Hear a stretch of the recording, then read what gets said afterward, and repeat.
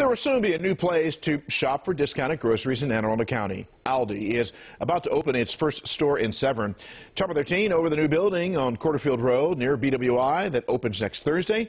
Along with in-person shopping, Aldi says this store will also offer curbside pickup. That begins in January. The new addition is part of the chain's national expansion plan to become the third largest U.S. grocery retailer by store count by the end of 2022.